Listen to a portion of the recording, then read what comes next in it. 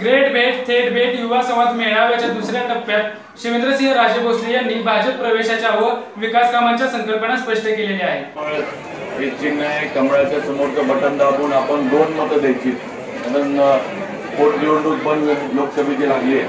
त्यामुळे दोन मतं आपण द्यायची ती आपण द्यावी ही माझी आपल्याला विनंती राहील.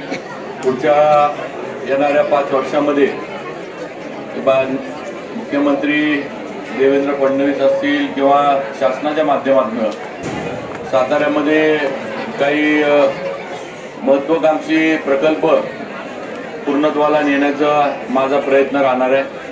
मोठे उद्योग इथं येतील ज्यानं ते जॉब क्रिएशन होईल अँसिलरी युनिट्स त्या निमित्तानं चालू होतील. त्याचबरोबर मेडिकलच्या माध्यमातून सुरू करणं हे दुसरं टार्गेट हे माझं मी ठेवलेलं आहे. त्याचबरोबर सातारची हद्दवाढ होती पण हद्दवाढ आपली झालेली आहे. त्यामुळे आता सातारचं सिटी लिमिट जे आहेत आपले ते आता हायवेपर्यंत आता गेलेले आहेत. त्यामुळे नगरपालिकेची हद्दवाढ झालेली आहे. मोठा डांबराचे रस्ते जास्त काळ काही टिकत नाहीत हे आपण अनेक वर्षाचा अनुभव घेतोय. त्यामुळे आज पन्नास कोटी रुपये आपल्याला कॉन्क्रीटचे रस्ते करायला मिळालेले सुद्धा आहेत आणि ते पण कामं पुढं सुरू होतील.